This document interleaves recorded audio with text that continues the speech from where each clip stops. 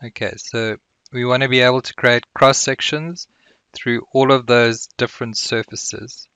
So I'm just going to run through that process with you before we move on to the long sections. So just going to the top view of that landfill site. I just want to close my control center and then I'm going to go to my select road file. So remember you need to use a road file to set the alignment or to insert the alignment. So it's just road 1 that I've been using for that particular alignment for the cross-section extraction. And I just want to have a quick look at the layers. So remember we have multiple surfaces that we're working with and we're going to extract the data from each separate DTM surface and store that information to the road cross-section layers. So here you can see my road layers, cross-section layers are all named from the excavation cell down to phase 6, so 1 through to 6. Okay, so those are the road cross-section layers, the data that gets stored in the road sec file, the sec8 file as it's called now. Okay, then Generally, when you're extracting cross sections, rule is to put in your horizontal alignment and coordinate it at a certain interval. I've already got that alignment through here. So let's just have a look at the actual alignment. I'm just going to graphical edit and you can see the start and end of my alignment, the start PI and the end PI. So the normal procedure is put in your alignment and coordinate it, which I've already done in this case. So I'm just going to section graphical edits so we can see a, a graphical representation of those road cross-section layers. So each of those DTM surfaces we've extracted now and stored that information in the road layers, in the road cross-section. So remember it's stored as an offset elevation pair. Um, generally wherever we intersect with the break lines we would pick up a point. So those are all the layers, the cross-section layers. Okay, so how do we get those cross-sections? So I'm just going to show you the way it was generated in the terrain application using terrain cross-sections and extract. So we've got an alignment so we can use that extract method. These cross sections have been extracted 300 meters to the left and 300 meters to the right.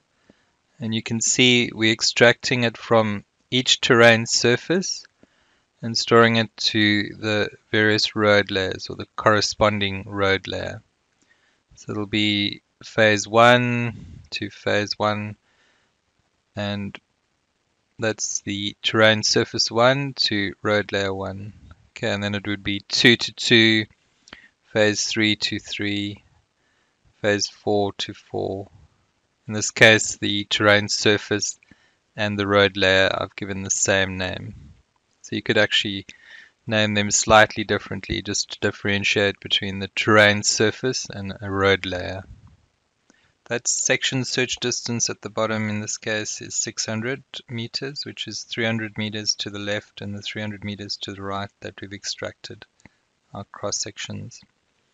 I'm just going back to the roads application and to section graphical edit. Just once again to have a look at those cross sections.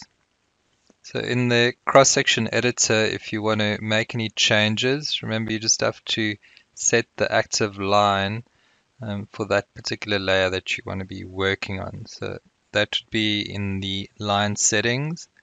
You can go set your active line to whichever layer you want to work on and then you could go and make changes insert or delete points etc cross section points.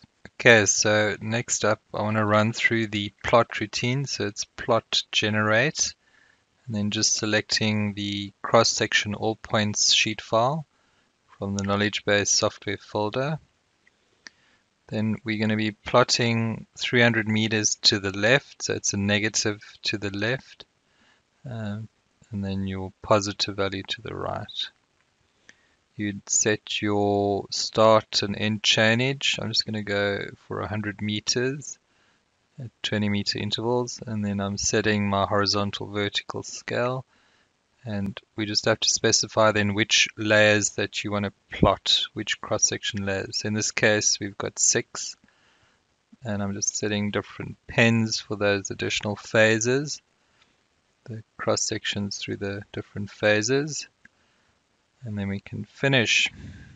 So there the plot routine is running, and you can see that cross-section at chainage 400. So that's basically the procedure to plot cross sections through multiple surfaces. Um, so you're extracting information and storing it to multiple road layers. Okay, and then just to show you that published drawing that I've added annotation to. So that was our cross-section layout that I've published and then I've added some hatching and some annotation for the different phases.